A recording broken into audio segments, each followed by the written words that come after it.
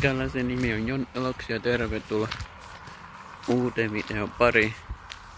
Tämä video aiheena on Tänään on keilauspäivä. Että joo.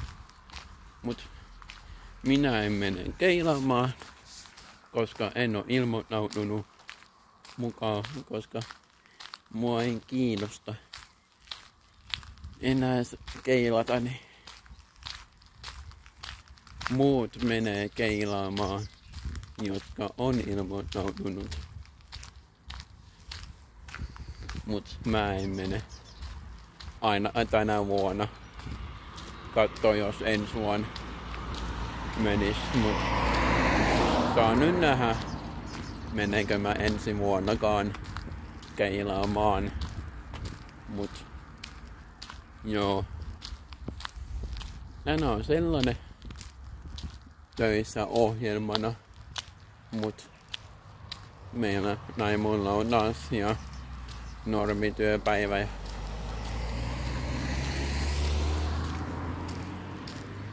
normityöpäivä. Ja tosiaan ajattelin voi muuten voi tehdä tänne se video. Kai. Ai, äh, kuuluu myös nopeammin kuin noin vaan töissä. Et, joo. En mä tiedä, mua ei vaan kiinnosta keilata ollenkaan enää.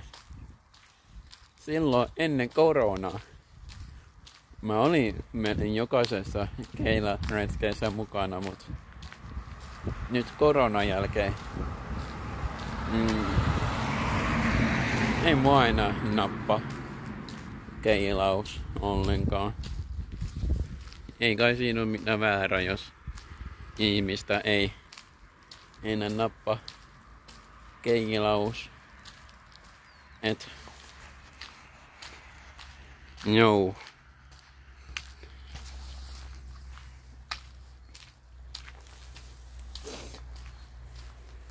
Näin on.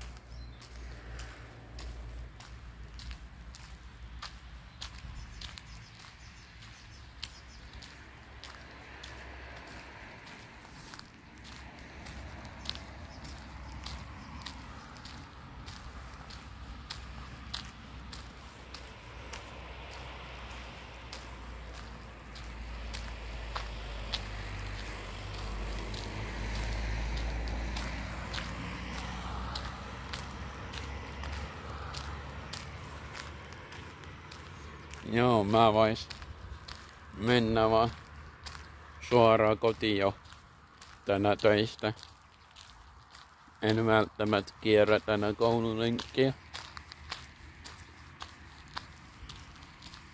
En varmaan huomennakaan. Katso nyt sitä.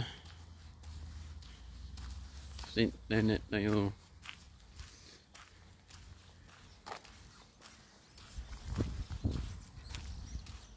Mut joo.